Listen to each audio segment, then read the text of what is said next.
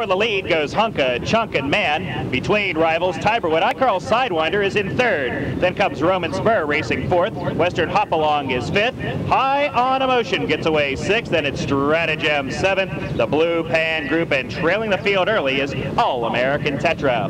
Phil gets ready to straighten away for the first time, and Tyberwood on the outside now takes over. Hunka Chunkin Man is racing second. The first quarter goes by in 27 and 3. Past the grandstand for the first time, and Bill Fahy has put Tyberwood on the lead. Now up to second is I Carl Sidewinder.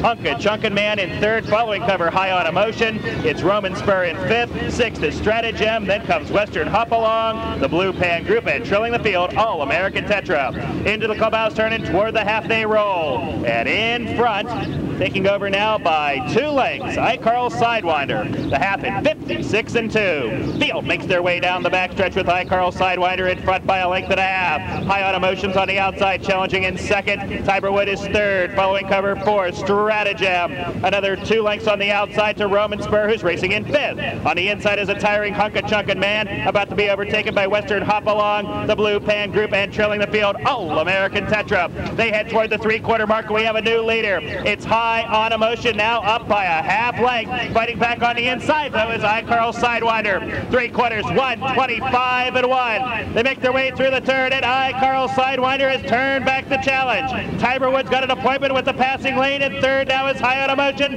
as they turn for home. iCarl Sidewinder with the lead. Three wide, Roman Spur to the passing lane. Tyberwood, less than an eighth to go outside Spur, Tyberwood as they near the wire. It's going to be Tyberwood.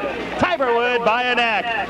Spurs second. I Carl Sidewinder third. 156 and 2 the time for the mile.